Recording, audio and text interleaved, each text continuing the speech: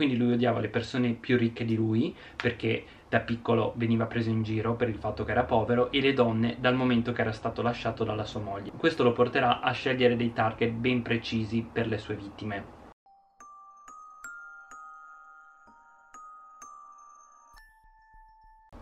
Ciao a tutti ragazzi e benvenuti su questo nuovo video, un nuovo video True Crime allora, la storia di cui vorrei parlare oggi è una storia che è avvenuta in Corea e ancora una volta è una di quelle storie che mi ha veramente scioccato e mi ha fatto pensare ad alcune cose. Per esempio, può la vostra infanzia influenzare la persona che voi sarete un giorno in futuro? Bene, in questo video parleremo di questo argomento. Prima di iniziare però vi chiederei gentilissimamente di lasciare un mi piace se volete contribuire alla crescita di questo canale, mi aiutereste veramente tantissimo e vi ricordo che io pubblico nuovi video ogni lunedì e ogni giovedì a luna di pomeriggio su questo canale, mentre parlo di leggende legate al folklore piuttosto che notizie di attualità relative relative al Giappone sul mio altro canale Sebastiano Serafini Vita in Giappone tutti i sabati alle 11 e mi raccomando se vi interessa ascoltare la mia musica andate sul mio canale eh, musicale oppure potete anche cercarmi su Spotify che eh, sapete la musica è proprio una delle cose che più mi piace fare quindi se eh, vi interessa quello che faccio andate a ascoltarvi la mia musica eh, sui vari digital store o anche su Instagram dove condivido spesso le mie canzoni. Inoltre se volete vedermi cucinare vi consiglio anche di andare sul mio canale di cucina in giapponese. Ragazzi dopo tutta questa eh, diciamo lista della spesa di cose che volevo dirvi questi annunci stanno diventando sempre più lunghi spero di non annoiarvi annoiarvi troppo ma ci tengo insomma. In ogni caso prepariamoci per parlare di questo caso. Allora ragazzi se siete un pochino interessati ai criminali soprattutto quelli avvenuti in Corea sarete probabilmente finiti per capitare su questa foto perché è una foto veramente famosa è quella che rappresenta Yu Yon-toe che è considerato uno degli psicopatici più terribili di tutta la storia dei crimini della Corea. Era nato nell'anno 1970 nella Corea del Sud e, e, nel momento in cui è avvenuto questo caso di cui andremo a parlare aveva una trentina d'anni. E questo uomo ha avuto una infanzia piuttosto travagliata e difficile. È cresciuto in una famiglia estremamente povera suo padre era un alcolizzato i suoi genitori divorziarono quando lui aveva solo solamente 7 anni. Tra l'altro il padre era un uomo estremamente violento anche per il fatto che era appunto un alcolizzato. Il padre quando aveva 15 anni è venuto a mancare e mentre attraversava la strada in modo irresponsabile è stato travolto da una vettura che eh, gli ha strappato la vita. Tra l'altro sembra che eh, questo ragazzino era spesso il target di molti bulli e veniva spesso ridicolizzato per via della sua povertà. E sembra che forse queste sono state alcune delle ragioni che hanno portato poi questo uomo uomo a comportarsi come vedremo in questo caso. Sembra che tra l'altro durante i suoi anni delle superiori avesse spesso fatto shoplifting quindi avesse rubato diciamo dei prodotti all'interno di alcuni negozi e era stato più volte ripreso e aveva anche commesso delle rapine quando ancora era un minorenne. Come potete immaginare il suo comportamento era già piuttosto travagliato quando era ancora giovanissimo e probabilmente ciò era dovuto anche al modo in cui veniva trattato dai suoi coetanei tra l'altro sembra che anche questo uomo avesse anche una vena artistica e era anche piuttosto talentuoso a giudicare dalle sue opere. Guardate qui alcuni dei suoi lavori sono veramente meravigliosi. E tra l'altro questa cosa del fatto che ci siano molti psicopatici che hanno questa vena artistica sembra che ci siano degli studi che sostengono che ciò non sia solamente una coincidenza ma che eh, solitamente le menti creative di alcuni individui ci sono proprio degli studi dicono che possono portare a degli alti livelli di instabilità emotiva con il rischio di essere disonesti e altri rischi collegati. Ovviamente questo non vale per tutti gli artisti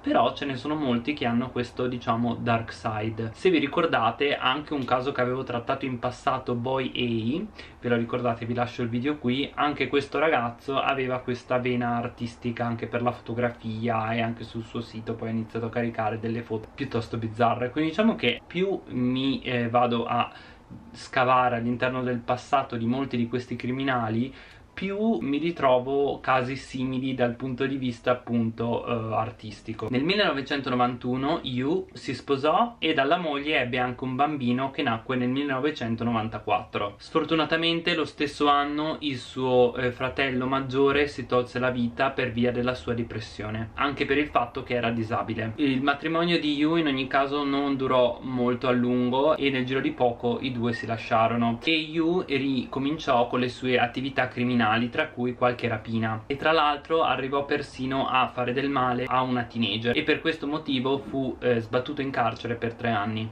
fino all'anno 2000 qui è stato quando la moglie ha scelto di chiedere il divorzio da questo uomo e anche la custodia del loro figlio che aveva 4 anni. Qui è stato quando Yu ha iniziato a eh, nutrire dentro di sé un odio e un'avversione nei confronti del genere femminile. E se vi ricordate quando lui era giovane eh, quindi era alle superiori veniva preso in giro per via della sua povertà aveva già eh, diciamo incanalato dentro di sé un forte odio nei confronti delle persone ricche. Quindi lui odiava le persone più ricche di lui perché da piccolo veniva preso in giro per il fatto che era povero e le donne dal momento che era stato lasciato dalla sua moglie. Questo lo porterà a scegliere dei target ben precisi per le sue vittime era come se questo uomo avesse la tendenza a dare sempre la colpa di tutte le sue sfortune a terzi, senza mai prendersene la responsabilità. È come se lui avesse questo bisogno, questa necessità, sentisse dentro di lui questo eh, desiderio di vendicarsi, senza però guardare alla sua situazione e a come avrebbe potuto migliorarla. Nel 2003, quando finalmente poté uscire dalla prigione, decise di vendicarsi di sua moglie e di suo figlio. Tuttavia, quando entrò nella loro abitazione e vide il loro figlio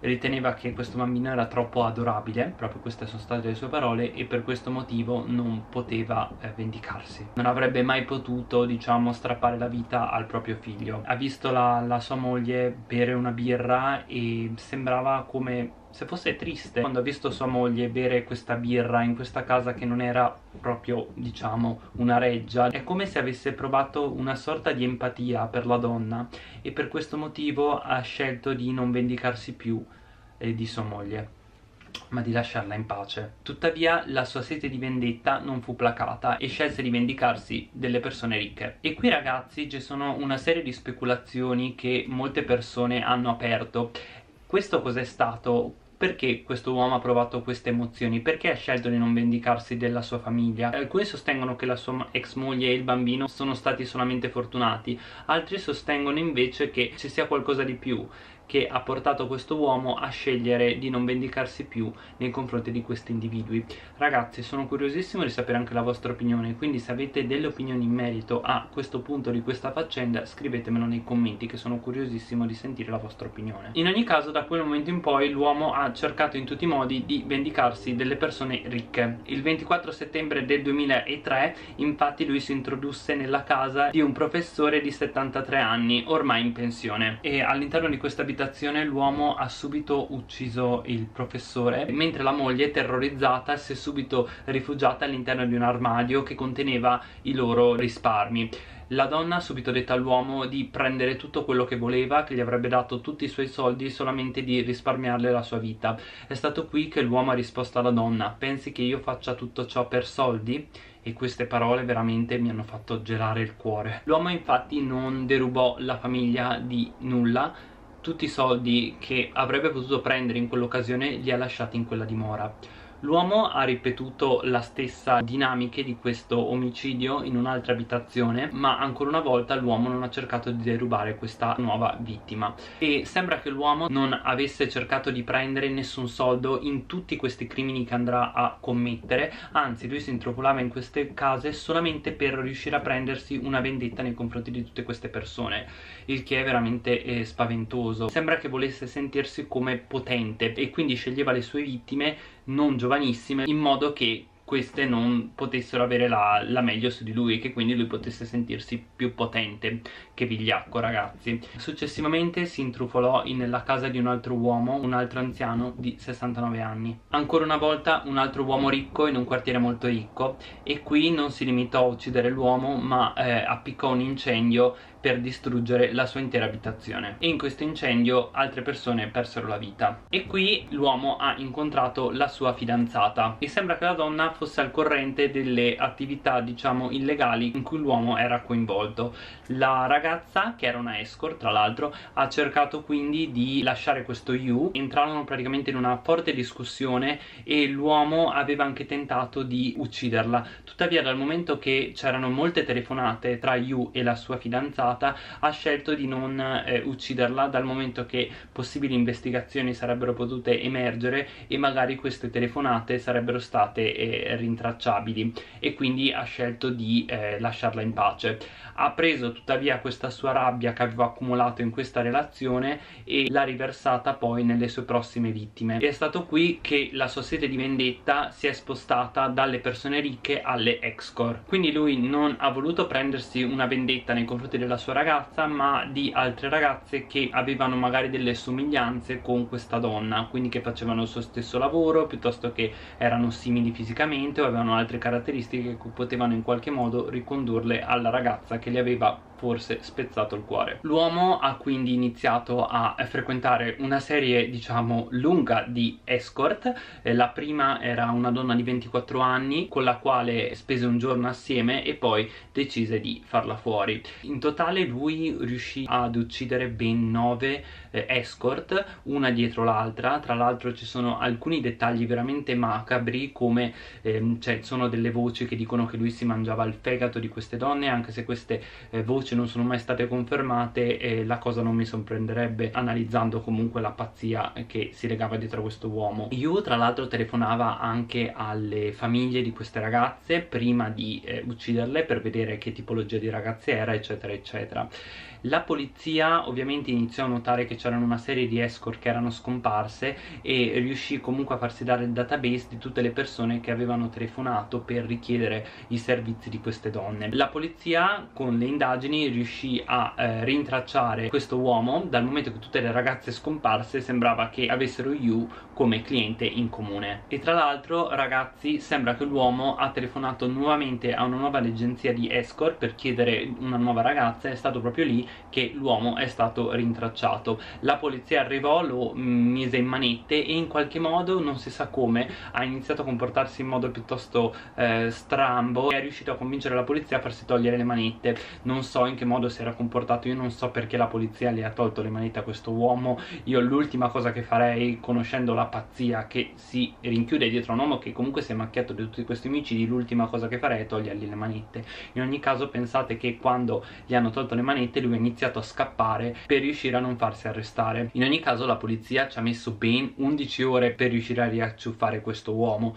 Quindi capite che se la polizia in queste 11 ore non fosse riuscita a ritrovarlo ci sarebbe ancora un criminale di questo calibro in giro per la Corea oggigiorno. Questo uomo ha strappato la vita a ben 20 persone. E ragazzi questo uomo è tutt'oggi in carcere è nel braccio della morte non si sa quando la sua esecuzione avverrà. Però ragazzi questo uomo è tuttora in vita e in questo momento ha all'incirca l'età delle sue vittime. Io spero davvero che in questo momento si renda conto di come magari queste vittime si sono potute sentire in quel momento dal momento che in questo momento ha più o meno la stessa età. Sembra che comunque in corte e poi in seguito anche in prigione lui si sia sentito in colpa per tutte le sue azioni e abbia cercato di chiedere scusa. Tuttavia ha anche sottolineato che se probabilmente non fosse mai stato catturato avrebbe continuato a uccidere nuove vittime. E tra l'altro ragazzi uno dei dei particolari forse più agghiaccianti di tutta questa storia è stato quando le è stato chiesto se mai avesse provato paura e l'uomo ha risposto che l'unico momento in cui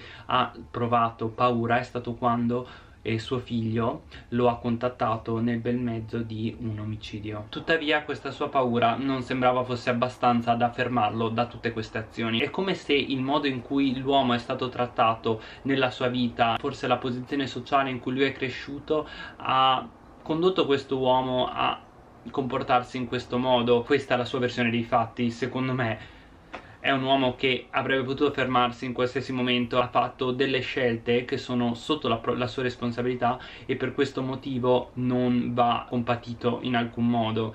È vero che è cresciuto in una famiglia disastrata tuttavia ci sono anche delle persone meravigliose che sono cresciute in questi eh, ambienti quindi diciamo che è una storia veramente difficile. Però ragazzi lui ha fatto tutte queste azioni per via della sua volontà è lui che ha scelto di comportarsi in questo modo. Sono davvero curioso di sapere la vostra opinione e vi chiederei gentilissimamente di dirmi la vostra opinione qui sotto. Io vi ringrazio veramente tantissimo per aver scelto di vedere questo video. Se volete altri video come questo lasciate un mi piace che mi aiutereste a crescere su questo canale. E noi ci al prossimo video